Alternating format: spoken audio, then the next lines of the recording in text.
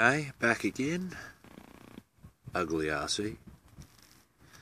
Now that's after four flights, each of about 10 minutes. last one actually was closer to 20. I have not refilled.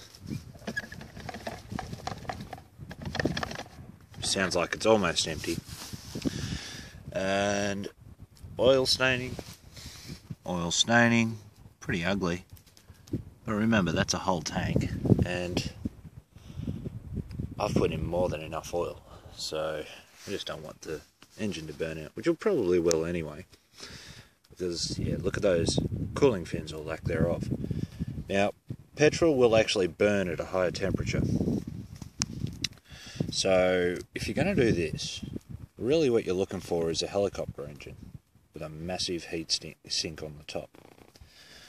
Now, this isn't one of my most uh, prized possessions, this engine, so I'm beyond really caring that much about it. But um, the fact is, it runs beautifully on petrol.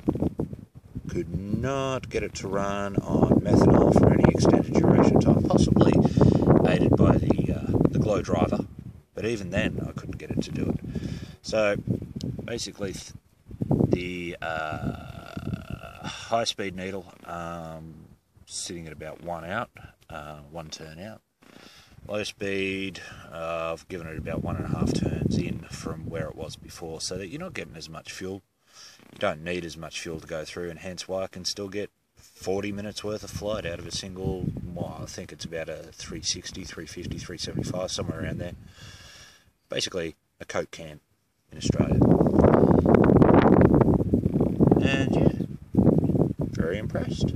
I'll be doing this more often. So, thus ends the first adventure, adventure of Ugly RC.